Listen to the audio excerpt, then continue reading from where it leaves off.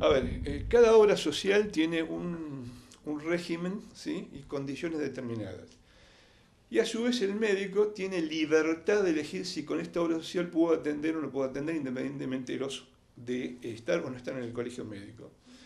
Este, hay colegas que atienden con todas las obras sociales y hay colegas que dicen, no, con esta obra social yo no me atiendo o no quiero, o no quiero atender, entonces no atiende.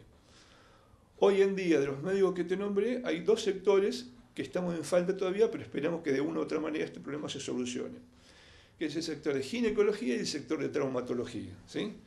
El resto de las especialidades, en general las que hay en Bolsón, están cubiertas. Y lo que no, lo atiende gente de Bariloche. Por ejemplo, el tema oncología. Bolsón no tiene, viene gente de Bariloche, la atienden sin ningún tipo de problemas. ¿Sí?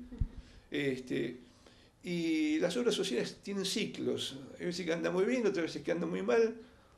Hoy te digo que a través del Colegio Médico se ha logrado estabilizar bastante este tema, es decir, evitar el tema de los atrasos, tener mejores convenios y seguimos atendiendo. A algunos les interesa y atiende y al que no le interesa o no quiere, se lo respeta y no se atiende.